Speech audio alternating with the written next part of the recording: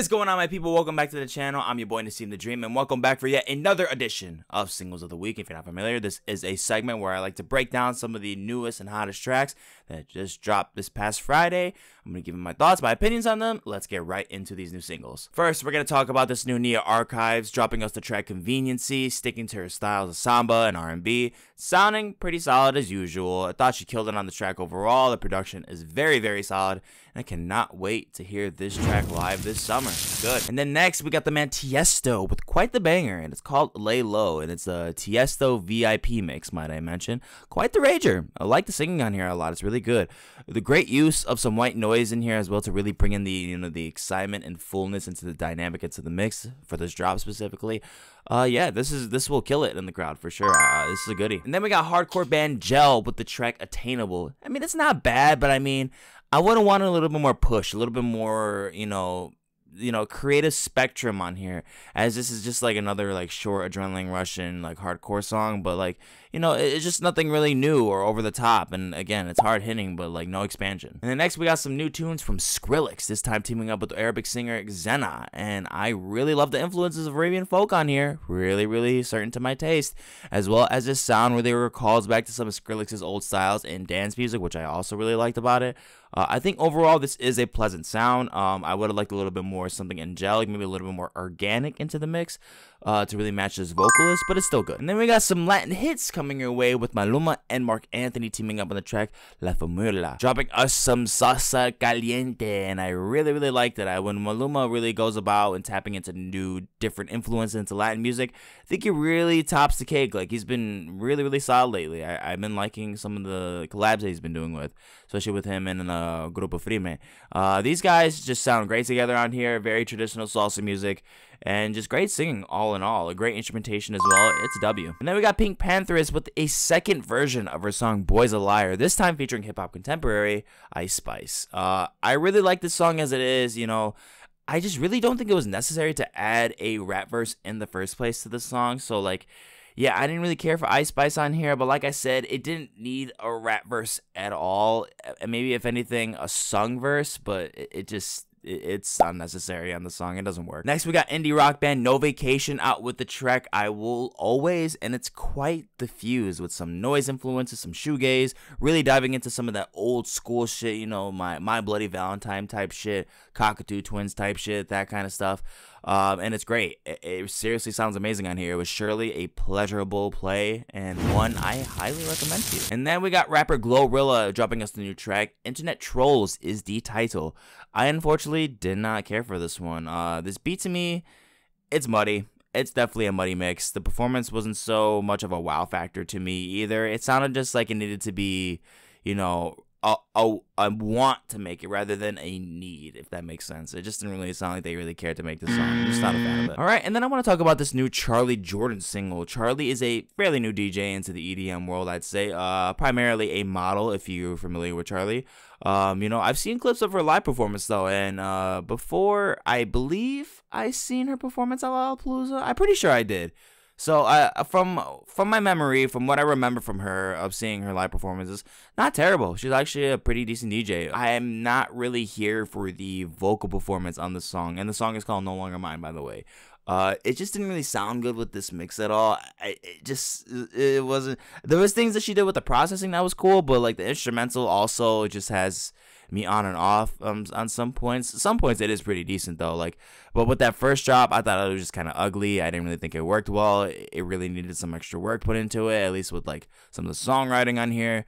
But you know, I think she'll definitely get better as she comes out with more and more tunes and as she is more invested into being a DJ producer. So we'll see. And next we got Logic with the new track, his second of the year, and the title is High Life. There is something about the melodies that really hit into this song specifically with the chorus that hits really hard but i feel like the transitioning into it for the first time it's a bit awkward. It doesn't really feel so smooth nor cohesive. Um it's just like it's unannounced but it's not like a pleasant surprise if that makes sense. Uh more so like this is just that one that was just like pretty weird. It really did feel weird going into it, but I think overall it's decent. All right, then we got rappers Mallokay and Snoop Dogg with the track out, and it's called No, and it is not not good. It's not good. It's very bland, boring, dull, generic. Then we got Steve Aoki teaming up with Latin pop group CNCO to the track Diferente. Honestly, it is really nice. It's got some like sweetness to it. It's very creamy. You know, I love CNCO as well too. They really sound great on here. They're a great uh, Latin pop group if you're not familiar with it. And I think Stevie Aoki isolated them really well in this one. Really great utilization. It's a good song. And then we got Carolina Polachek out with a new song. It's called Blood and Butter. And I love this one. It's got some crazy, crazy good instrumentation on here. Uh, great variations with the instrumentals as well. This sounds so exotic. It's like some kind of like futuristic like jungle mix to me. That's where I'm really that's where I'm getting when it comes to the setting placed into this track. The singing is absolutely stunning on here and it's quite good. I am really digging this one. It's good. Then we got some new EDM from Ekali. The title is called Purity. Really neat drop sequence. Um, I felt the verse passages didn't really give me that, you know, that same impression at moments, but it's a clean mix overall, so I'll give him points for that. It's overall okay. And then we got rapper Icy Twat with the track Stop Trying to Be Like Me. This is such a knockoff of Playboi Carti. It's it's so obvious. Like it's overdriven beat, the ad libs, the mumble rapping. It's, And then we got an alternative R&B track out from Petite Noir and Sampa the Great called Blurry. The chorus, you know, it blends together really nicely, and I'm kind of underwhelmed with the singing overall from these two. I really thought it'd be a lot more better, a lot more lush, but it's kind of, I didn't really feel like it hit home for me. Not terrible, but not for me. And then we got pop punk band from the Burbs, Real Friends, out with the track Six Feet. It reminds me a lot of Neck Deep's work and maybe even a little bit of story so far in there. Just a just a little hint, a little sprinkle of that on there, vocally at least. That's where I'm kind of getting about. Um, but I don't know. I think overall it's okay. I don't really see myself revisiting this that much, but the music playing on here is well done. And um, I, I think pop punk fans, real friends, uh, fans will like this song. So do what you will with it. And then we got some new R&B from you from Ella Mai, and the title is "This Is." Super duper lush and sweet singing on this track. This chorus is absolutely fire. The instrumental, it's got some problems. I don't think it really keeps up with much of the, you know, the lushness and, you know, just in terms of like how vivid it is. How I just feel like the, these like piano stats specifically, they just feel so out of place and they just don't feel like they're done at all. It really feels half baked. Well, other than that, uh, the instrumental being undermining for the finish, um, Ella sounds great and I think it deserves the yellow for this one. And then next we got acoustic balladry with Rachel Chinouriri on the song Maybe I'm Lonely. Indie pop singer, if you're not familiar with her, now you know.